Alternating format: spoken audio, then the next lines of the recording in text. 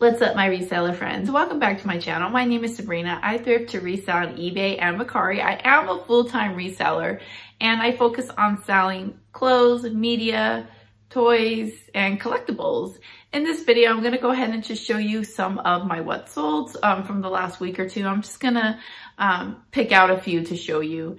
And yeah, let's just jump right into it.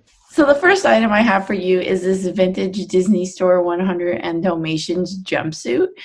So when I'm out there sourcing, I always look at kid clothes, baby clothes. One of the main reasons is because I always try to look at things that other resellers aren't looking at. Um, so like if I go into their stores, all the resellers are always in the electronic area they're in the media, so they're looking at video games and DVDs, or they're in the men's t shirts. It seems like those are the main places where I see them.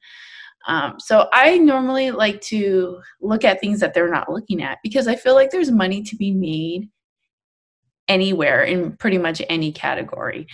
And I don't really see very many resellers looking at kids' clothes. So that's something that I've kind of jumped into and I've been selling a lot more of lately and it sells. I mean, it's not most kid clothes don't sell for a lot of money.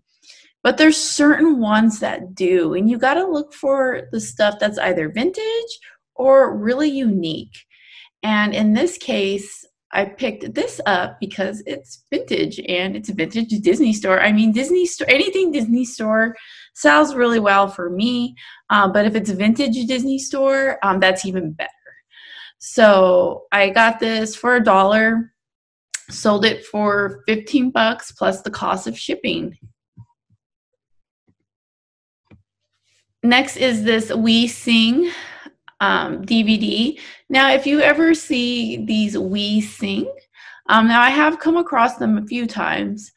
Um, they're not super easy to find, but you can find them. And these sound really good because these were really popular in the 90s. My brothers actually used to watch these. Um, I was slightly a little bit older um, by the time these came out, um, but I still remember them because they were always playing in our house. Um, so it was like these, um, like a collection of children movies where these kids are like singing with like characters that are dressed up in costumes and stuff like that. Um, there's probably maybe about 10 of these DVDs, different different ones. Um, but this one sold for $13. I paid a dollar for it. And um, I, I just really want to talk about kid clothes today uh, because I'm it, they're just selling. And I kind of thought a little bit strategically as far as kids clothes go because I know that right now um, just with everything going on in our world with the economy and gas prices and you know i just feel like buying clothes for kids is one of those things that it seems like more parents are leaning on buying um, pre-owned because kids just outgrow clothes like so fast, right? Or they dirty them or damage them very quickly. Um, so actually, you know, going secondhand with kid clothes is the way to go, in my opinion. Even with my daughter, she's 11 and she's constantly changing her style. Like she's already to the point now where it's like she's uh, her clothes aren't being outgrown as fast but her style is like outgrowing super fast.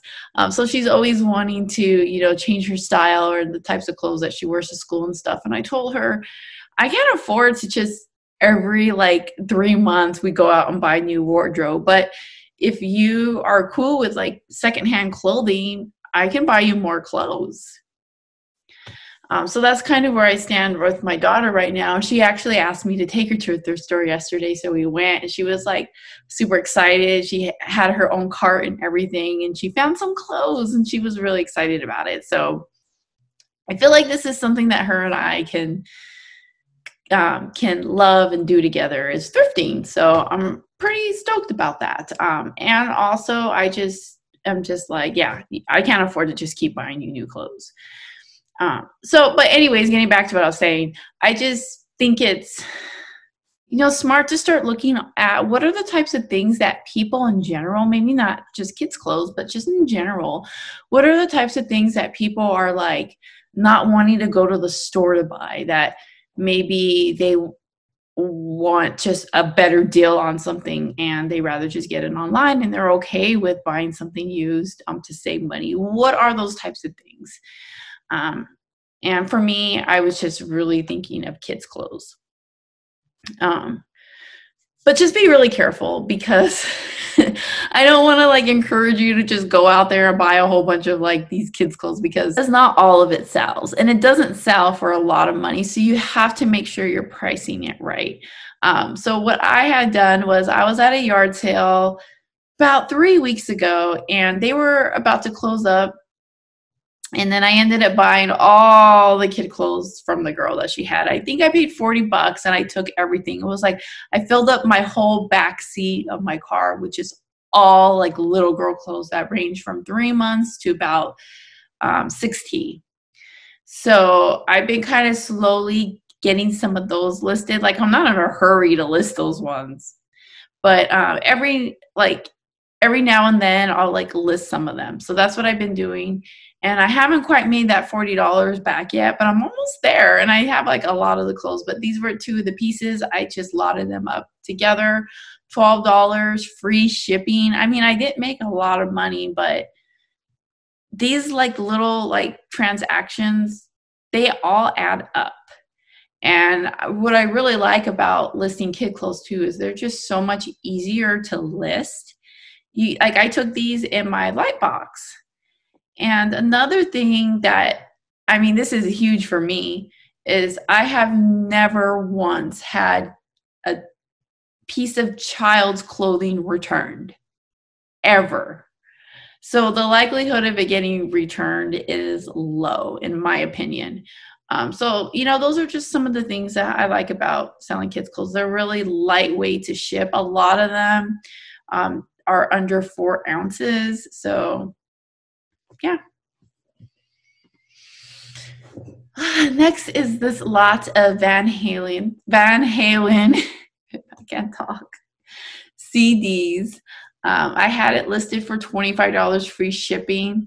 Um, I think I sent someone an offer. I can't remember if I sent an offer or someone sent me the offer, but it was for 20 bucks. And that's what I sold it for.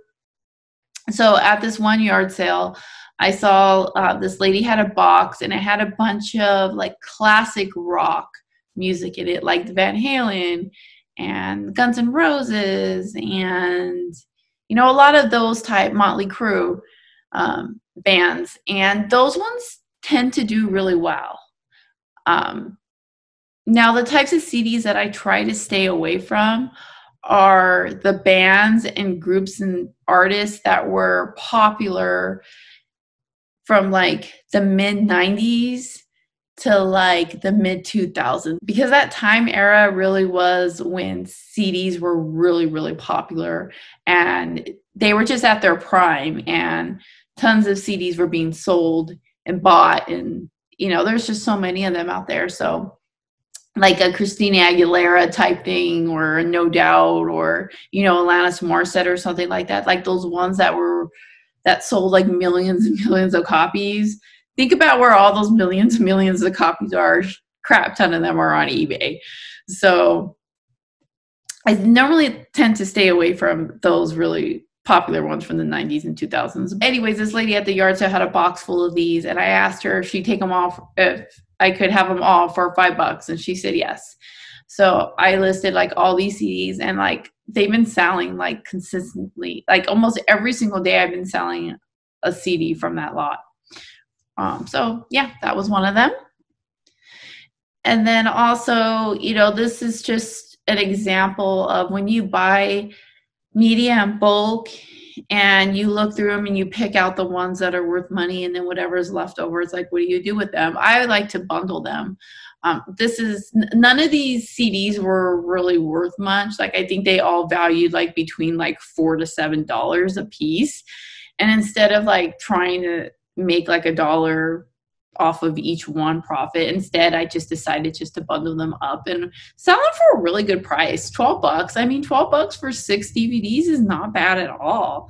Um, and then even this person got an even better deal because it was on sale for 1138 so uh, but yeah you can ship a media mail it doesn't cost a lot to ship it's under four dollars um, yeah Next are these super cute uh, little people of the Beatles. Uh, I I really don't have any reason for showing them besides the fact that I just thought they were really cute and I wanted to show them. But um, the funny thing about it is I did buy like a, a huge Ziploc bag full of little people at a yard sale. And these were in them, but when I first started going through that bag, I totally thought it was Harry Potter. I was like, oh, they have like a Harry Potter little people. But then I like looked a little closely and saw that they were the Beatles. I just thought that they were cute. Next is this Guns N' Roses women's um, t-shirt blouse. I pick up band tees for days. Like I find them everywhere I go. And I can normally get them for super cheap. This one in particular cost 50 cents.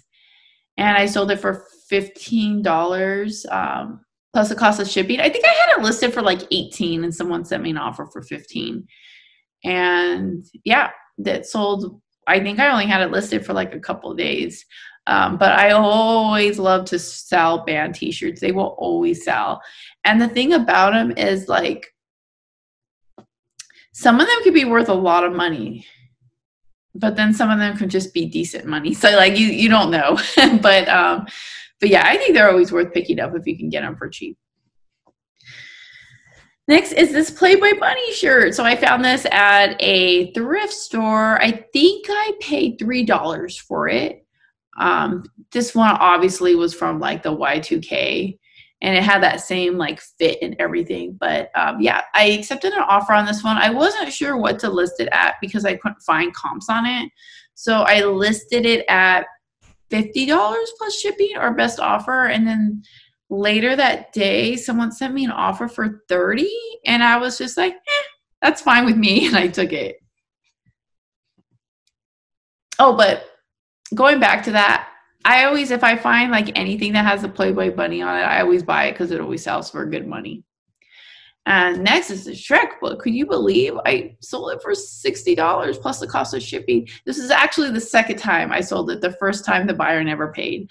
Um, but yeah, so yeah, 60 bucks, guys. I, it's a really, really pretty book too. It's like about like the art of it, I think. Um, but it's huge. It's like this really big book. Um, but I have noticed that Shrek stuff sounds good. Like you'll see me talk about Shrek sometimes in some of my other videos because um, I I always sell I always sell it. Anytime I list anything Shrek, it sells. Um, I I like to say that Shrek is like the Toy Story for DreamWorks. You know, like that one movie that like really put them on the map. I actually tried to put it on the other night um, my daughter wasn't feeling good, so I was trying to find like a family movie to put on TV, and um, I put on Shrek, and we actually sat through and watched the whole movie. But like at the end of the movie, my husband and my daughter, because my husband hadn't hadn't seen it before either, they were both like, "That movie sucked," and I'm like, "Yeah, I feel like it didn't like stand the test of time for me. I don't want to offend any Sh- Shrek fans out there, but like we were just kind of like, wasn't really that good. like I remember it being better like when I was younger, but I remember like laughing, laughing at that movie. And it just wasn't funny this time around. The only part that really was really funny was um, do you know the Muffin Man. like I that part was still funny, but anyway, it's totally getting off subject here. But yeah, this sold for sixty dollars, and my thing is I really like selling books. Like I like looking through books. Um, I like listing them. They're easy to list or easy to ship. Um, but my problem is that like I really have a hard time like figuring out what types of books to pick up So that's a little bit of a struggle. Like I like selling them and I'm interested in it, but I have so much to learn when it comes to selling books. Um, but sometimes, like if I just see something that just sticks out to me, and I, I'll get it. Uh, but the problem is, like over fifty percent of the time, I'm wrong, so I just can't trust myself. But I really felt like I wanted to get this one because, like I said, I've always just had luck selling selling Shrek. Um, so my advice for you, I don't have any advice to tell you like what types of books to pick up. I am going to talk about books a little bit more in this video, but uh, what I would say is it's always good like if you're able to check comps before buying them, do that. because sometimes you'll see a book and you'll be like, "Whoa, I'm sure this has got to be worth something," and then it's not. Um, or vice versa. It's just it's hard. Learning how to resell books is really hard. It's something that I struggle with. Um, but um, but yeah, just use your best judgment. Check the comps. So this sweater was my daughter's. We had recently gone through and organized her room and cleaned it up. And I told her to go through her closet and pull out, you know, anything that doesn't fit her anymore. And um, unfortunately, this really cute Beauty and the Beast sweater did not fit her anymore. She is 11 and this is a size 7 8. Yeah, I'm pretty sure my mom bought this for her. And it's always just so great. I talk about these in so many of my videos about how excited I get selling my daughter's clothes that she outgrows. Um, yeah, so this sold for $10 plus the cost of shipping. Again, this is a Disney store. Let's see what the tag looks like so you can look out for it. Where is it? Where is the tag? There we go. So yeah, just keep an eye out for that because um, Disney Store stuff sells good. These three pairs of Barbie shoes sold for $20. So anytime I find Barbie shoes or I have Barbie shoes that aren't the regular, like just like common looking shoes, you know I'm talking about? Just like the, you know, generic ones with the heels. Like if anything looks like unique, like these are probably from um, like the Y2K era. I believe um, these were either came on the actual dolls themselves and they also had like these like fashion avenue um, clothing sets that actually are worth pretty good money if you find them but um, these are the types of shoes that came like in those sets too. So there was no way i was going to find out what set these ones were from. That was way too hard. I always advise if like advise if you're gonna sell Barbie clothes or replacement parts for Barbies that you know which Barbie it came from. You'll make more money that way. It'll sell faster. Um, but sometimes it's just not possible or even worth your time to figure it out. So I just threw these on there for 20 bucks, just making my best judgment, and they sold. So yeah, I yeah. All right, another women's um, band tee. This one is an Aerosmith one. This one sold for $10 plus the cost of shipping. Now, the ones that aren't really worth a lot of money, I normally list my band t shirts at $15 plus shipping or best offer. That's kind of like the the sweet spot for me when it comes to pricing on those types of things.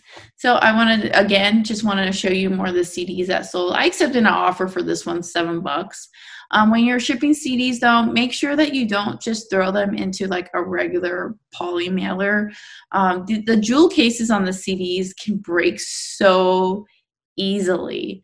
Uh, so my advice to you is if you do want to get into selling CDs to make sure that you have the right materials you need to ship them. What I do, if it is one CD or two CD, I will take off like the like a part of a box, um, like a bigger size box. I'm not to use because whenever I have big boxes um, from just stuff that I've ordered at home for myself, um, I don't throw them away, but I also don't save them because I don't sell big items. But what I do is I cut them up into like pieces. And this is a perfect example of one of the things I use those pieces for. So I'll just put like the CD inside the cardboard and then roll it into the cardboard, put tape around it, and then put it inside a mailer because I guarantee the types of people that are buying these CDs, half of them are probably buying it really because they have a CD player and they want to listen to the CD inside the CD player. But then the other half of the type of people that are buying these is because they want them for collector purposes. Like there's a Guns N' Roses fan, Guns N' Roses fan out there who got rid of his Guns N' Roses CDs a long time ago, but now is kind of like, oh, you know, I want I want my collection back. You know, I just want to be able to like collect it. So then they're back online and buying them. I'm pretty sure my husband did that with all the Nirvana CDs, but um, yeah, a lot of people are buying them for collector reasons, and it's not it's not a good thing when a buyer opens that package and sees like a crack or something that on what they bought that they weren't expecting. Um, so yeah, I mean, even though they only paid seven dollars on this item free shipping, that's not the buyer's problem. That's my problem, and I have to make sure that even though I'm not making a lot of money, that I still am taking care of this item when I ship it out. So I just really want to, you know, just encourage you um, to make sure that you're doing that. You know, make sure that when you sell things that can break, even if it's just like, do you know how easy it is to replace a CD case? It's so freaking easy. But it's still like the principle of the matter. Like you want the buyer to have a good buying experience. Um, so just make sure you're shipping these right. And then another thing too with me, I buy um, or I use my eBay store credits to get the boxes that are the six by four by four. And those are great for shipping CDs. You can fit maybe like probably up to three in there. Um, so I'll put the CDs in there. Like if there if there's more than two, or if the CD has a value of $15 or more, I'll ship it in a box. Um, but I will never just throw a CD inside just a regular mailer without giving that it that extra protection. Actually, I take that back. I would do it because I did do it and I had a problem. So that's why I learned from that mistake. Um, so just make sure you're doing what you need to do. Here's some more. I've just put them here just to show you. Um, these this set of two Pink Floyd CDs sold for ten dollars free shipping. And again, this one I wrapped it up in that cardboard. Would you guys like me to make a video to show you how I do that? If you would, leave a comment and I'll I'll make the video, but only if it's something that you guys can benefit from. Um, if no one cares, then I won't make it. All right, now this belonged to a brat doll. It's a boy doll. Um, I got this in a set that came with a, like a whole bunch of like random Barbie stuff. And this this was one of the cases where it was really important that I knew which doll this went to because I really believe that's the only way I was going to be able to get $30 for it. Um, so what I did to try to find it was, for one, I knew it was a brat because the brat clothing, um, it's totally Y2K style clothes. So that that's that's already a hint for you to know if it's brat. If it looks Y2K, and then two, like they're the outfits are a little bit like shorter than um, your average Barbie. Um, so like these pants are just shorter, like it wouldn't fit a Barbie. Um, so that's another way that you know too. And then their shoes are always like snap on, like their feet don't like slide in, like it snaps in. Um, so you can kind of see if I can find a picture to show you yeah, see right there, they just like snap in. Um, so that's how you know that it's Bratz. And then once you know that it's Bratz, like how I figured this out, all I did was I put boy Bratz camouflage and I was able to find it, find out what doll it went to. Um, I want to show you this one because this brand always sells for me. I used to find it in Colorado all the time. Um, but this is my first time finding it in California. It is called the Mountain. I want to say, hold on. Where? Oh, there it is. That's what it looks like. The Mountain. Um, these shirts, they always sell. This one even had a little hole in it. But this one went for $12 plus the cost of shipping. Paid either dollar fifty cents for it at yard sale. This also came from that lot of little girl clothes that I bought that I told you about earlier. This is also Disney store. Again, I'm just showing you these things because I just want you to see um, a pattern and like certain things that sell. So, um, yeah, Disney store. See, that's what it looks like. Um, You'll find these everywhere. They're everywhere, guys. It doesn't matter where you live, you will find little kids Disney store. Well, this is more of a recent one. It doesn't say Disney store anymore. Um, because I think they were already they had an idea that that they probably weren't going to be the Disney store anymore and they were kind of trying to transition into everything like being like shop Disney. So um so yeah but these these the like disney ones that come from either shop disney or disney parks or disney store um, those are the ones that you want to keep an eye out for. But like i said you can find these anywhere and you can get them for dirt cheap. Like people are like sometimes just wanting to give this stuff away. Okay so this is going back to i said i was going to talk a little bit more about books. Um, so another thing that I really look for with books is if I see series, um, if I see complete series of something. So like I was at a yard sale and the guy had like a whole bunch of books. I asked him how much his books were. I think he said a dollar a piece. And um, I found that they had like the whole set of this of this particular book, or it was like one through thirteen. And I was like, well, I've never heard of this before. What is it? Canterwood Crest? I, I don't know. It's a book about horses. um, so I had not heard of this before, seen it anywhere, but I just saw that the whole set was there. So to me, it was like, I want to pick this up because it's complete. Um, but I didn't want to pay a dollar for each one. So I just asked him if he would take five for all of them. There was 13 books and he said, yeah. And then I think my daughter was with me too and she had bought a couple books too. So that was probably why he was willing to go down on the price. Um, but yeah, always that's another thing to look for when you're looking at books is like when you see a lot of the same series of book together. It doesn't even have to be complete, but if it's like a lot of the same book, then you can sell it in a lot and those do much better. Because most of the time when people are are going out to like look for like books from these series they want to buy more than one at once. It's just a better deal for them and for everybody. Next is this harry potter um, comforter. Um, i can't remember. I think i paid two dollars for it at a yard sale and it sold for $40 plus the cost of shipping. I just um, shipped it in a big um, poly mailer.